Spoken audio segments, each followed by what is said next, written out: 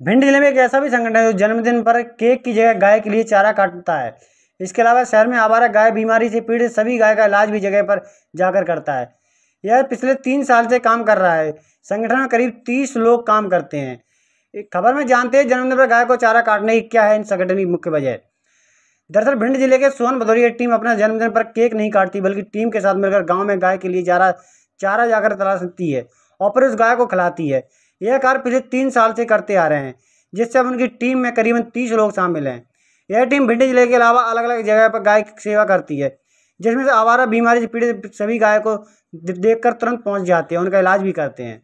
ज़िले में आदित्य भदौरिया बता दें कि हम दो साल पहले जब अपना जन्मदिन धूमधाम से मना रहे थे, उस वक्त अचानक मेरे साथ थोड़ी दूर पहले एक गाय को भूखे प्याज से तड़पते हुए देखा और मुझे लगा कि मेरे द्वारा धूमधाम से भोजन किया जा रहा है, उधर भूख से तड़प रही गाय हमने गाय तो हमने सोच लिया कि जन्मदिन अब गाय के साथ ही मनाया जाएगा।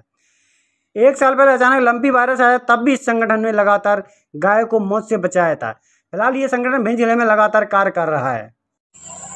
ये बताइए आप जो जन्मदिन मनाते हैं गायों को भोजन देते हैं और गाय के साथ मनाते हैं क्या है इसके पीछे रीजन क्या हम लोग मेरा जन्मदिन था हम लोग पार्टी कर रहे थे दाल टक्कर की और माँ केक वेक लेकर आए।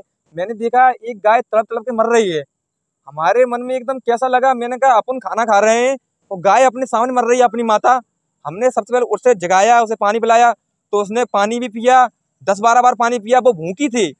फिर हमने सब लोगों ने विचार किया, मेरी टीम ने, कि अपन तो घर में खाना खा सकते हैं।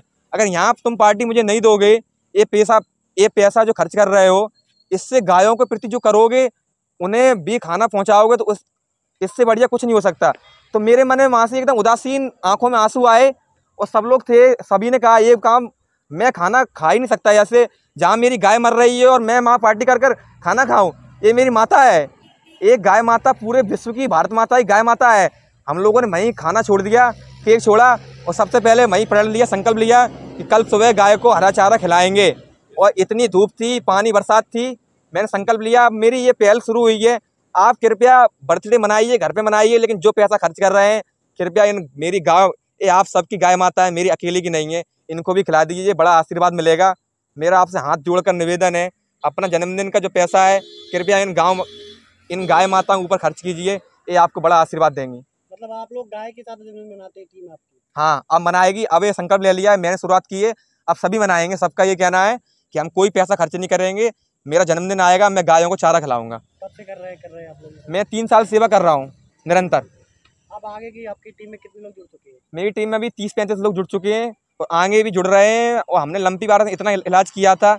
हर गाँव में हमारे पास फ़ोन आते हैं हर गाँव में और जहाँ तक हम, हम मेरे ऊपर समय होता है हमारी टीम पर कोई ना कोई आपको मिल ही जाएगा। मैं नहीं हूँगा तो ये मेरी टीम खड़ी है बगल में दादा खड़े हैं सब लोग कोई ना कोई आपको मिल जाएगा।